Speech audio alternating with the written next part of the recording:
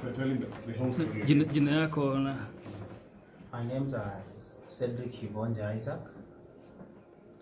First of all, I was arrested in August 7th of this year. Then I was remanded in Nairobi Medium Prison. Then it was on a Tuesday, whereby we were watching the news. Then my friends just started telling me, hey, are those were pictures? Then automatically I saw them, they were mine.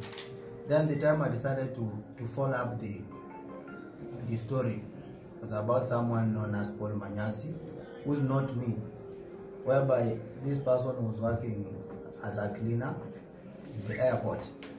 Then after that, the following day in the morning, uh, one of the welfare madams in the medium prison, they called me asking me if I'm the Paul Manyasi, whereby my, my face there, the pictures that were there are mine. But, so, after that, even my friend there, they just started calling me Kifo. said published uh, across the world. The news originated from uh, a docu-series which was done by John Sparks, the African correspondent for Sky News. And ever since, from what you've heard from the family, you can tell the disappointment, the, the shock, the trauma. Yeah, someone was saying that they cannot even find work. You've heard the father saying that for the son to be allowed into the homestead, certain rituals have to be done. We don't take this easily at all, uh, and we are doing everything possible to have Sky News and also John Sparks rectify. Uh, what we have seen is that in a uh, research for this matter, we've seen that there was a lot of state margin, state managing, a lot of unprofessional conduct on the side of the storytellers. Our clients were not consulted before the story was published. They were given insufficient information. And uh, the story which has been published right now is saying that my client is dead. Well, you've seen it for yourself that uh, my client is alive and kicking. He may be he may be held in custody right now, but you can see he's alive. He's told you himself that his name is not uh, Paul Manyasi, that the said Paul Manyasi is a person completely unknown to him. The father has also said that he never told the journalist from Sky News that his son was Paul Manyasi.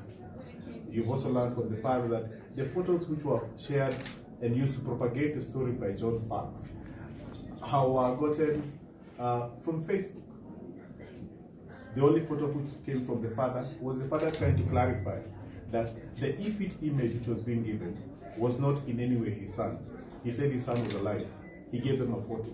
But despite all these all these uh, steps which were taken by the family, they still went on to publish the story, completely disparaging my client's name.